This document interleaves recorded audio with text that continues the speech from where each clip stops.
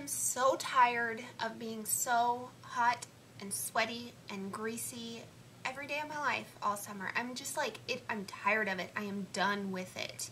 I want to go back to Maui. I, I want matte skin again. Is that really so much to ask for? Hmm, Texas sun, why do you have to hate me so much?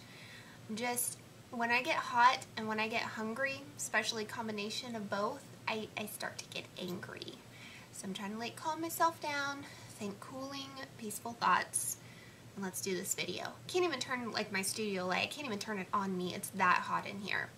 Anyways, so Project Pan intro. I do need to do a little bit of talking here at the beginning. I need to explain myself a little bit. So if you're not into all that, you want to just get to the products, I will figure out how to do a timestamp or um, just skip ahead until I start talking about stuff that you're interested in. So I knew I wanted to do an, another Project Pan when I got back from vacation and I had it in my mind that I wanted to do 13 by Halloween and do it roulette style. And First of all, I don't think the roulette style is going to work out for me. Um, I'm getting down, I have like 85, something like that, makeup items left. So it's getting really specific what I want to pan and I just, I didn't feel good about letting go of the control of picking the products that I wanted. And I even went so far as like to write down some categories, you know, kind of group them together. And when I was doing that, I realized that I was thinking of specific items as I was writing them down. And it's kind of against the rules, if there are rules of roulette style panning. Um, basically, I mean, the point is for it to be a more random draw, and that kind of defeats the purpose. Um, so I just don't, I just don't think it's going to work out for me right now. I just didn't feel like I was I'm at a point where I can just give up that control and just pick anything in my collection. You get what I'm saying? So I don't know. I just don't, I don't think it's going to work out for me. Second thing is, it's supposed to be 13, right? And I just couldn't I just couldn't do 13 products. I have 10 here and then as I'm finishing things up, I know that I will have, you know, a month down the road, know of more products I want to put in. So that's what I'm going to do as I finish things. I'll rotate things in, which I do in all my pans. Um, but I have 10 right off the bat that I'm going to start working towards. I could have put in a couple extra items, like had hair care item, skincare item, but it just felt really like forced and fake to just like throw it in for the hell of it, you know what I mean? Um, just to like say I got to 13 products. And the third point I was going to make, this all kind of ties in together, and that's that I'm getting a little bit bored with panning. I know it's such a terrible thing to say. Um, I think a lot of it had to do with vacation. Um, I barely wore any makeup for that entire three weeks. My skin has cleared up beautifully. My dark marks got darker because of so much sun sunshine, um, but my acne like is gone. And so I haven't really been wearing makeup now that I've gotten back either, and my skin seems to be doing really well with that, just letting it breathe more. So I'm not gonna like force myself to pan like I kind of have in the past. I mean, it's never been a forcing because I've always enjoyed it, but I've always been really like hard on myself, like finish this up, finish this up, and like really dedicated to my products, use them every single day, you know, as much as I can. And I'm just not feeling that right now. I'm like I said, I'm barely wearing makeup during the week, so I'm probably not going to pan as fast um, as I have in the past. And then the other thing is just, I'm just not, I just haven't, I've just kind of lost my spark for makeup and everything to do with it. Um, I really want, I want to save my makeup, not long term, but I don't want to like go through everything. I don't want to pan everything in my collection because I don't want to be forced to buy new makeup. I know I'm seeing it in like a totally different light right now because I, I have some big plans and possibly, maybe, I, I might want to move back to Maui and um, move to Maui. I don't know, I kind of say I live there for a month every year. Um, and so I want to save as much money as possible. And so I don't want to pan a bunch of stuff and have to go out and buy a bunch of stuff. You get where my train of thought's going with this. Anyways, I've just kind of lost my spark for the whole thing. Not wearing it that much, not obsessing about it that much. I haven't been watching you know, new makeup videos, stuff like that. I'm just not that into it right now. Just right now in this place in my life, I just, I have other interests. So we're going to see what happens. I still want to do this pan and this is what it all boils down to. If, if I'm interested in something, if I think it's going to be fun, if I think I'm going to enjoy it, I'm going to do it. If I stop enjoying it, I'll stop doing it. So that's just kind of my, my philosophy in life right now. So we're going to go into it and see what happens. So first thing is a Smashbox primer. This is the pore minimizing primer and I have a line right here on the back so I'm just under that black band.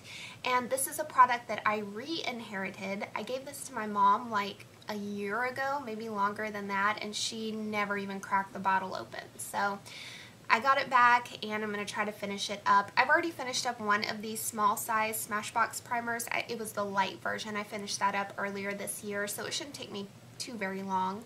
Um, I actually do like it. I use a very small amount and I don't rub it into my skin. I like press it into my pores in my T-zone and I actually do really like it um, but I don't use a whole lot of products so this will probably last a little bit longer than a lot of my other primers have. The next item I picked was a blush and I chose a Bare Minerals loose blush. Uh, this one's in first class and you can see this is like a deluxe sample size.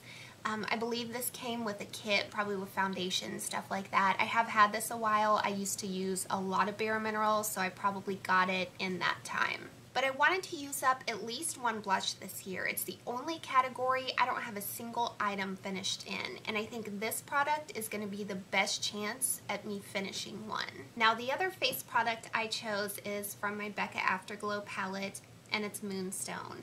I have just really fallen in love with it lately. Um, when I took this on vacation, I just, I fell in love with it. I think it looks so much better on me when I'm darker in the summer. Um, so while I have this tan, I want to get the most use out of it as possible. So here's Moonstone. I don't know how well you're going to be able to see. This is a very reflective palette, um, but you can see I do have a little bit of a dip going in it. All right, let's move on to eyes. I did put my Lorac Pro Matte palette in here. I've shown this a lot because I love this palette so much. I pretty much use it as the foundation of most of my eye looks every day. I kind of just go to it and grab it to do pretty much all my mattes. Um, I do have pan in every single shadow in here, and so I think it's time to start kind of using up some shadows now. I pretty much just want to start on this end and work my way down. I want to finish up what's left of linen. You can see here that's not a whole whole lot, and then move on to Bare, which has decent pan, um, and then maybe Latte, move on to Corduroy, just down the palette. Um, although I think I mean, I think just for the challenge, if I can finish up the first two, then I'll kind of call this done. Like, that's my goal. If I finish up more, then that's awesome, but that's extra. I decided to throw in my only other cream shadow that I have, and it's a Bobbi Brown shadow stick. It's a Longwear cream shadow stick in golden pink. Um, I was actually given this by one of my friends at work. Um, she decluttered it, and but what I believe is that this was a 100 point perk or something like that, because I've seen a few people have this size and a few different colors, so I think it was a 100 point perk. Um, this is how much product is in it, which is not a, and I have used this you know, quite a few times. Um, but that's still a good amount for a cream product. It's kind of slow going. So, you know, you use it once and you really can't see that any there was any movement. Um, so it'll definitely take me quite a few uses to use this up. Um, to be honest with you, I think it's absolutely beautiful. I think this color is gorgeous, um, but I want to get it out of my collection. It's not cruelty free. Now the last item I have in the eye kind of category is my Too Faced Perfect Eyes eyeliner. This is in black and if you can tell this is limited edition, special edition packaging. This was from the Love palette and I bought that palette when it came out and I did not like it. Um, so I've since decluttered it but I decided to keep the pencil and give it a try. Um, it's not, it's not my favorite pencil and it just, it doesn't stay in the waterline very well. It runs I have to clean it up during the day, but it's not so bad that I can't use it. This is the last black eyeliner that I have, and so I want to finish it, I want to use it up, and I want to go back to an eyeliner that I know is really great quality. I have got some good use in on it. You can probably tell this pencil used to be bigger. That's where it starts. So I have worked on it for a bit. Um, it goes pretty quickly actually because you have to sharpen it nearly every single use. It's very, very soft, very creamy. I think that's what contributes to the running a little bit. Um, so I definitely want to use this up and go back to a better black eyeliner. All right, and now I pretty much just have a bunch of lip products. So the first one is the only item that I have never finished in a project pan. It's not really my fault though. I put this in at the like two, three weeks before the end of my last project pan. I didn't think I was gonna finish it. Um, this is a Too Faced Le Creme lipstick in Nude Beach. I have been working on it. I don't have a whole lot left. If I would have had just like two more weeks on that project, I would have finished this up, but I didn't. Then I have the Dior Lip Glow, and this is in the original color, which is pink. And I've had this for quite some time, and I, the thing is, I just don't think it's worth the price. Um, if this was like a drugstore lip balm or something like that, I'd say, heck yeah, all day, every day, go get it. Um, but it is not. It's $33 for a lip balm. And I love the scent of it, so that's a pro. It's like a soft vanilla mint. I love that kind of those kind of scents. So I like that, but it's not incredibly moisturizing. I just wish it was, I just wish it were, I don't know, I wish it made my lips feel a lot better, you know, for the price tag. Um, and the second thing is the color that it turns my lips, it's just too hot pink. And I, it's probably going to look different on every single person, but I just, I wish it was a more sheer pink. It kind of looks like I have a very sheer hot pink lipstick on and I'm just not the biggest fan of that. So that's how much I have left. I really haven't used it that much. Um, there's just not that much product in this package. And if you can tell, I'm so that girl who flattens out all of her lip products. You know how they say, you know, it, it like, I don't know, tells your personality by the way you shape your lipsticks. I'm the flat girl. I flatten all of them out every single time. I want it to be perfectly symmetrical on all edges, neat and perfect, and just, yeah, flat. It's just funny. And my mom's actually the same way too. I wonder if I got that from her. Then next, I just have assorted lip balms. Um, I really want to finish up this EOS because I'm not the biggest EOS fan. In fact, I think I had like three or four of them and I decluttered all of them. Um, but this one my mom gave it to me like for Easter. It was in my little Easter basket. And I do think the ones with the swirls are a little bit better, but it's still not my favorite lip balm. So I do want to go ahead and finish this up. Um, I did mark it. You can tell, I mean, I've worked on it a little bit. I took the egg shape off of it and flattened it out as always, um, but I still have, I mean, these, these take a long time to finish. Um, the thing is, I'm not even going to start on this until I finish up um, another lip balm that I have, which is this one, the Blistex Soft and Lush. And I don't have a whole lot left of this one, if you can tell. I actually like had to pick this up in an emergency in Maui. Um, when I got there, I realized that none of the lip balms I took had SPF in it, and I, you need that. So this is like all they had at the uh, gift shop at our hotel. So I picked it up, but we, I mean, we all pretty much used it. Me and my mom especially, like I would take it to, you know, down to the pool or the beach, and pretty much everyone would use it in my family.